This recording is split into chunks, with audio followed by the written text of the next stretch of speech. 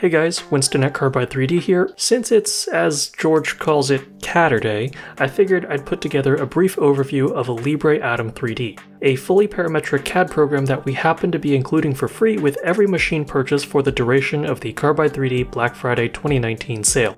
Atom 3D is Alibre's intro-level CAD offering that's standalone, parametric, perpetually licensed, allows you to model both parts and assemblies, as well as make drawings. That means it works offline, isn't in a browser, has no recurring subscription fee, and has all the features you need to design some fairly complex parts. You've got basic sketching tools, modeling tools like extrude, sweep, revolves, cuts, patterning tools, and more. You can use Atom 3D to visualize your designs, work through problems virtually, and then export STL files or DXFs for manufacturing.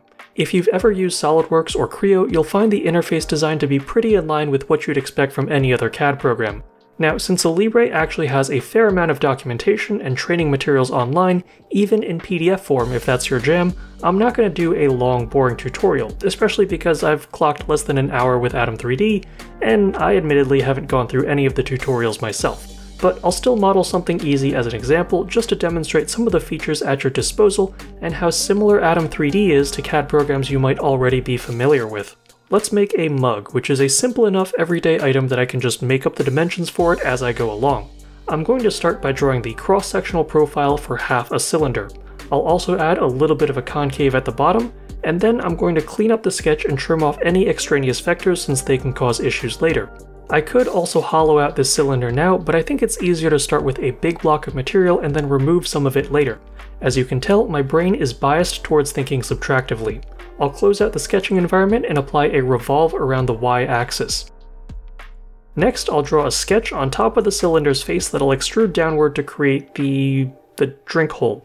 Brain is not working right now. I'll take the opportunity to apply some fillets to make this look actually comfortable to drink from, and then move on to drawing a handle.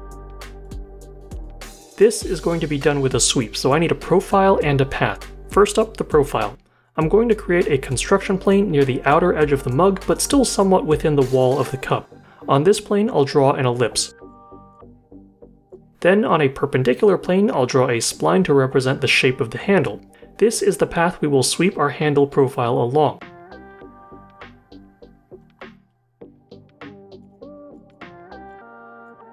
As you can see, because of how my handle profile was offset from my path, the handle actually extends into the body of the mug.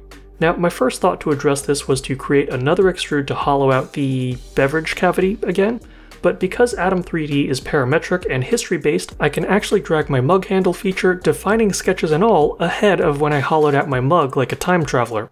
Since I eyeballed my handle position and didn't reference any other geometry, it's not linked to any other features, so that handle can exist by itself at any point in the design history. So if it existed, say, before my big extruded cut was made, then it will be affected just like the rest of the model. Boom, no more handle inside the mug. I'm not saying this is a good way to design a part, I'm pretty sure my old CAD professor would be screaming at me right now if he could, but it does show the power and flexibility of having a parametric workflow. Bottom line, Alibre Atom 3D has the feature set to give you a proper parametric experience. It's not as complete as some of the other software packages out there, but it is a great start. So for anyone who's bought or is buying a machine during our blackest of Black Friday sales, or is interested in a non-subscription based parametric CAD software, play around with Atom 3D and let us know what you think. Until next time, good luck and have fun machining folks.